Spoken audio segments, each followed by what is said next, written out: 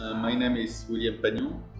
Uh, my company is uh, Freelance Robotics. Um, uh, we founded the company in 2009. Um, what we are doing is uh, providing technological solution for people that want to go from an idea to a concrete solution.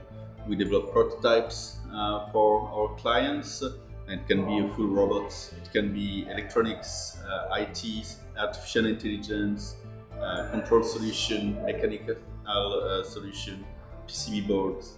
We're, we're looking to uh, work hands in hands uh, with ARC to provide uh, extra support for the startups that are part of the incubator of ARC.